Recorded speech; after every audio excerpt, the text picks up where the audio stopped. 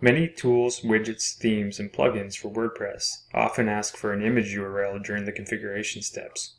Follow along to see how to get the image URL. In this tutorial, you will learn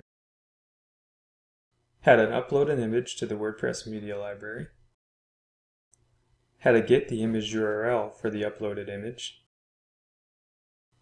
how to get the image URL for any image that was previously uploaded, and how to get the image URLs for the thumbnail versions of the uploaded image.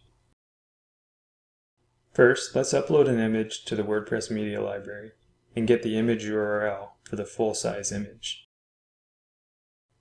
From within your WordPress dashboard, go to Media, then Add New. Click the Select Files button, locate the image on your computer, and double-click it. Once the image is finished uploading, click on the Edit link.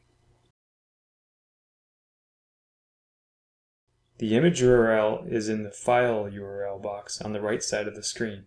Highlight it and copy it to the clipboard. An easy way to highlight it is to triple click it. In a similar way as described in the previous steps, you can get the URL for an image that was previously uploaded. There are a couple slight differences though, so let's cover those steps now. To get the image URL for an image already in the media library, from within your WordPress dashboard, go to Media, then Library. Locate the image you want the URL for. You can perform a search if need be. Click on the title of the image or on the edit link for the image. Copy the file URL to the clipboard. In the previous steps, you are getting the URL for the full-sized image.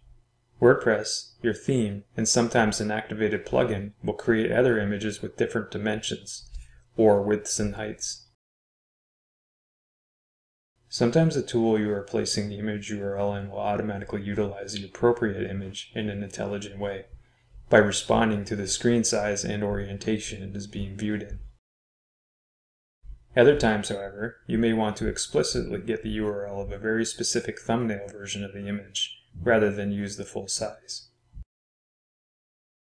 There is a plugin in the WordPress plugin repository called Display All Image Sizes that exposes the URLs for all versions of your uploaded images.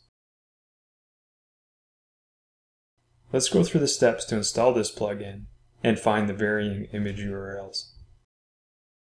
From within your WordPress dashboard, go to Plugins, then Add New. Do a search for Display All Image Sizes. Click Install, then Activate.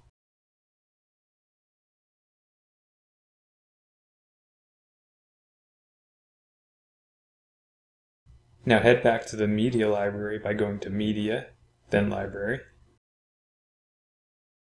Select an image. Scroll down below the image details to the Sizes section. From here, select a size from the drop-down box.